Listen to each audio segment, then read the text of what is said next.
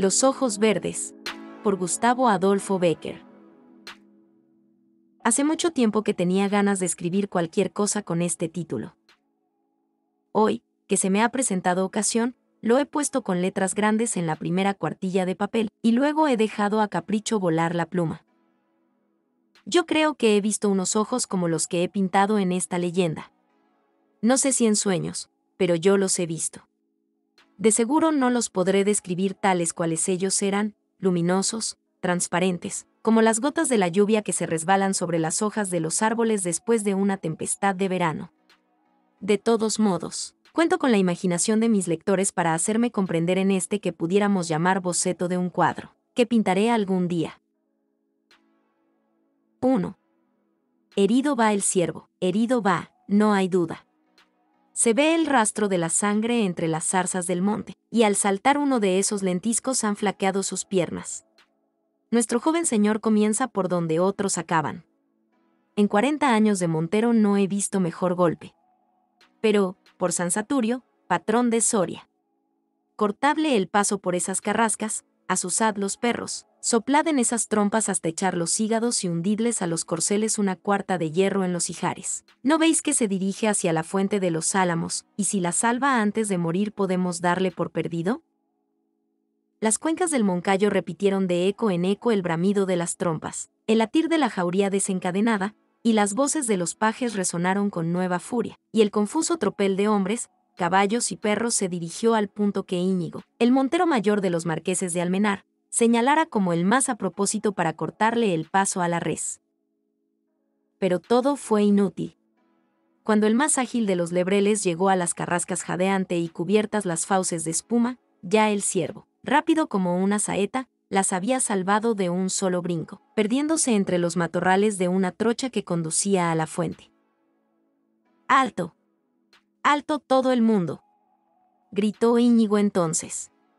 Estaba de Dios que había de marcharse.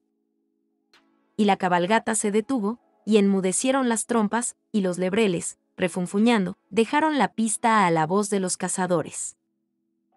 En aquel momento se reunía a la comitiva el héroe de la fiesta, Fernando de Argensola, el primogénito de Almenar. ¿Qué haces? exclamó, dirigiéndose a su montero, y en tanto, ya se pintaba el asombro en sus facciones, ya ardía la cólera en sus ojos. ¿Qué haces, imbécil? Es que la pieza está herida, que es la primera que cae por mi mano, y abandonas el rastro y la dejas perder para que vaya a morir en el fondo del bosque. ¿Crees acaso que he venido a matar ciervos para festines de lobos? Señor, murmuró Íñigo entre dientes, es imposible pasar de este punto. Imposible, ¿Y por qué? Porque esa trocha, prosiguió el montero, conduce a la fuente de los álamos, la fuente de los álamos, en cuyas aguas habita un espíritu del mal. El que osa enturbiar su corriente paga caro su atrevimiento. Ya la res habrá salvado sus márgenes. ¿Cómo la salvaréis vos sin atraer sobre vuestra cabeza alguna calamidad horrible? Los cazadores somos reyes del Moncayo, pero reyes que pagan un tributo pieza que se refugia en esa fuente misteriosa, pieza perdida. Pieza perdida. Primero perderé yo el señorío de mis padres, y primero perderé el ánima en manos de Satanás que permitir que se me escape ese siervo, el único que ha herido mi venablo, la primicia de mis excursiones de cazador, ¿lo ves? ¿Lo ves? Aún se distingue a intervalos desde aquí, las piernas le fallan, su carrera se acorta. Déjame, déjame. Suelta esa brida o te revuelco en el polvo, quién sabe si no le daré lugar para que llegue a la fuente. Y si llegase, al diablo ella, su limpidez y sus habitadores. Sos. Relámpago. Sus, caballo mío. Si lo alcanzas, mando engarzar los diamantes de mi joyel en tu serreta de oro. Caballo y jinete partieron como un huracán. Íñigo lo siguió con la vista hasta que se perdieron en la maleza, después volvió los ojos en derredor suyo. Todos, como él, permanecieron inmóviles y consternados. El montero exclamó al fin, Señores, vosotros lo habéis visto, me he expuesto a morir entre los pies de su caballo por detenerle. Yo he cumplido con mi deber. Con el diablo no sirven valentías. Hasta aquí llega el montero con su ballesta, de aquí adelante, que pruebe a pasar el capellán con su hisopo.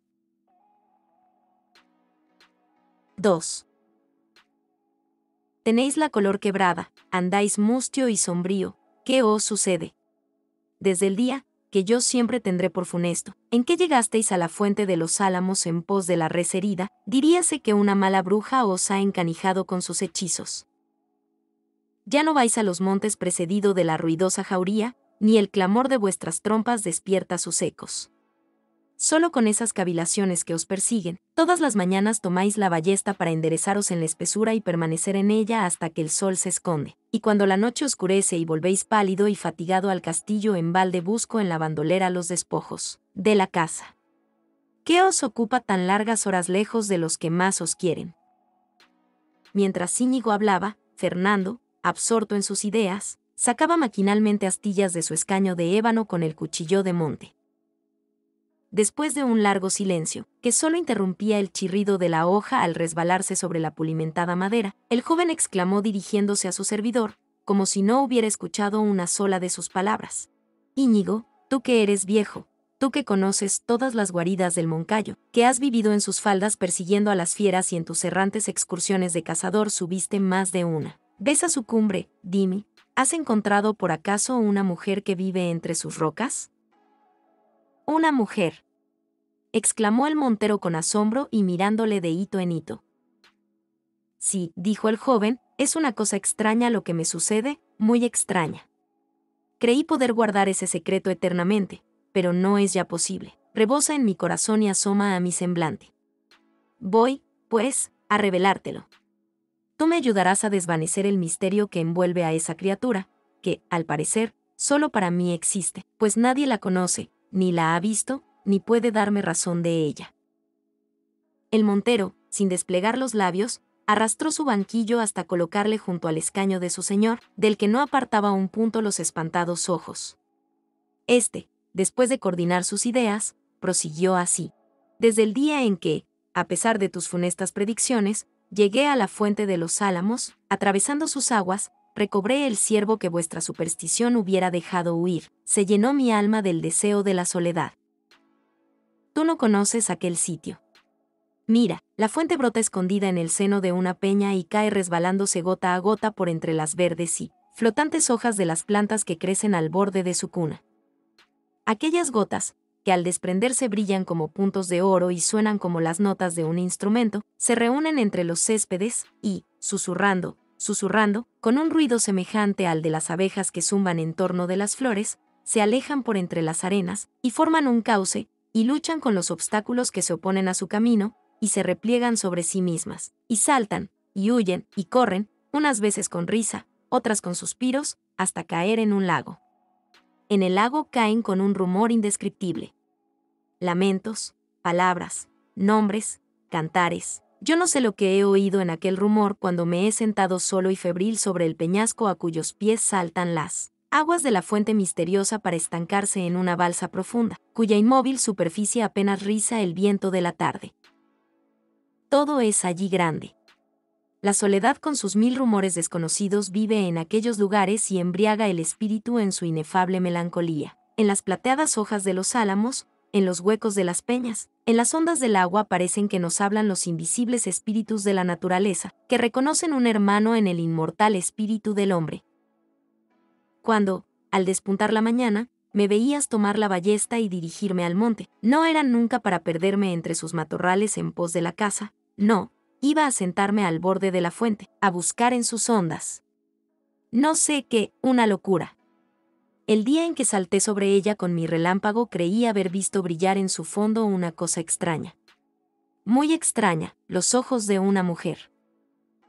Tal vez sería un rayo de sol que serpeó fugitivo entre su espuma, tal vez una de esas flores que flotan entre las algas de su seno, y cuyos cálices parecen esmeraldas, no sé. Yo creí ver una mirada que se clavó en la mía, una mirada que encendió en mi pecho un deseo absurdo, irrealizable, el de encontrar una persona con unos ojos como aquellos.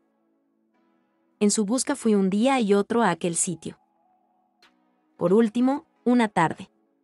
Yo me creí juguete de un sueño, pero no, es verdad, la he hablado ya muchas veces, como te hablo a ti ahora. Una tarde encontré sentada en mi puesto, y vestida con unas ropas que llegaban hasta las aguas y flotaban sobre su haz, una mujer hermosa sobre toda ponderación. Sus cabellos eran como el oro, sus pestañas brillaban como hilos de luz, y entre las pestañas volteaban inquietas unas pupilas que yo había visto, sí, porque los ojos de aquella mujer eran de un color imposible, unos ojos verdes. exclamó Íñigo con un acento de profundo terror, e incorporándose de un salto en su asiento. Fernando le miró a su vez como asombrado de que concluyese lo que iba a decir, y le preguntó con una mezcla de ansiedad y de alegría. ¿La conoces? ¿O no? dijo el montero. Líbreme Dios de conocerla. Pero mis padres, al prohibirme llegar hasta esos lugares, me dijeron mil veces que el espíritu, trasgo, demonio o mujer que habita en sus aguas, tiene los ojos de ese color. Yo os conjuro, por lo que más améis en la tierra, a no volver a la fuente de los álamos. Un día u otro os alcanzará su venganza, y espiaréis muriendo el delito de haber encenagado sus ondas. Por lo que más amo, murmuró el joven con una triste sonrisa.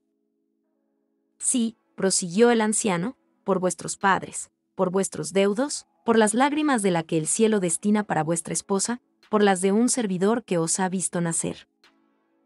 ¿Sabes tú lo que más amo en este mundo? ¿Sabes tú por qué daría yo el amor de mi padre, los besos de la que me dio la vida, y todo el cariño que puedan atesorar todas las mujeres de la tierra? Por una mirada, por una sola mirada de esos ojos, ¿cómo podré yo dejar de buscarlos?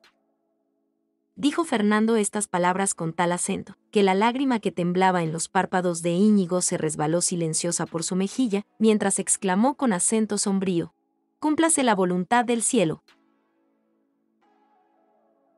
3. ¿Quién eres tú? ¿Cuál es tu patria? ¿En dónde habitas? Yo vengo un día y otro en tu busca, y ni veo el corcel que te trae a estos lugares, ni a los servidores que conducen tu litera. Rompe de una vez el misterioso velo en que te envuelves como en una noche profunda. Yo te amo, y, noble o villana, seré tuyo, tuyo siempre. El sol había traspuesto la cumbre del monte, las sombras bajaban a grandes pasos por su falda, la brisa gemía entre los álamos de la fuente, y la niebla, elevándose poco a poco de la superficie del lago, comenzaba a envolver las rocas de su margen.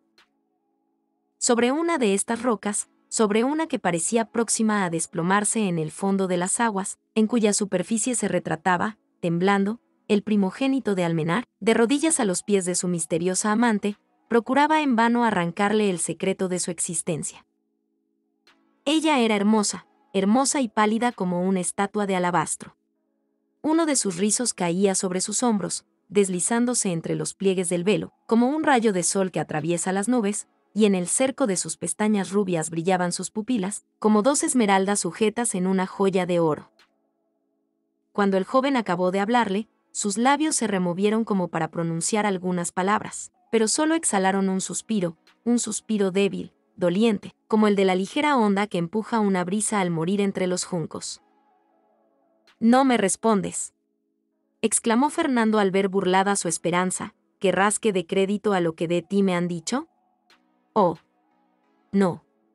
Háblame, yo quiero saber si me amas, yo quiero saber si puedo amarte, si eres una mujer. O un demonio, y si lo fuese. El joven vaciló un instante, un sudor frío corrió por sus miembros, sus pupilas se dilataron al fijarse con más intensidad en las de aquella mujer, y, fascinado por su brillo fosfórico, demente casi, exclamó en un arrebato de amor. Si lo fueses, te amaría como te amo ahora, como es mi destino amarte, hasta más allá de esta vida, si hay algo más allá de ella. Fernando, dijo la hermosa entonces con una voz semejante a una música, yo te amo más aún que tú me amas, yo que desciendo hasta un mortal, siendo un espíritu puro. No soy una mujer como las que existen en la tierra, soy una mujer digna de ti, que eres superior a los demás hombres. Yo vivo en el fondo de estas aguas, incorpórea como ellas, fugaz y transparente, hablo con sus rumores y ondulo con sus pliegues. Yo no castigo al que osa turbar la fuente donde moro, antes le premio con mi amor, como a un mortal superior a las supersticiones del vulgo, como a un amante capaz de comprender mi cariño extraño y misterioso. Mientras ella hablaba así, el joven, absorto en la contemplación de su fantástica hermosura, atraído como por una fuente desconocida, se aproximaba más y más al borde de la roca. La mujer de los ojos verdes prosiguió así. ¿Ves? ¿Ves el límpido fondo de ese lago? ¿Ves esas plantas de largas y verdes hojas que se agitan en su fondo? Ellas nos darán un lecho de esmeraldas y corales. Y yo. Te daré una felicidad sin nombre, esa felicidad que has soñado en tus horas de delirio y que no puede ofrecerte nadie.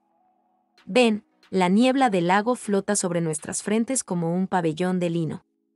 Las ondas nos llaman con sus voces incomprensibles, el viento empieza entre los álamos sus himnos de amor. Ven. Ven. La noche empezaba a extender sus sombras, la luna rielaba en la superficie del lago, la niebla se arremolinaba al soplo del aire, y los ojos verdes brillaban en la oscuridad como los fuegos fatuos que corren sobre elas de las aguas infectas. Ven, ven. Estas palabras zumbaban en los oídos de Fernando como un conjuro. Ven. Y la mujer misteriosa le llamaba al borde del abismo, donde estaba suspendida, y parecía ofrecerle un beso. Un beso. Fernando dio un paso hacia ella, otro, y sintió unos brazos delgados y flexibles que se liaban a su cuello, y una sensación fría en sus labios ardorosos, un beso de nieve, y vaciló, y perdió pie, y cayó al agua con un rumor sordo y lúgubre.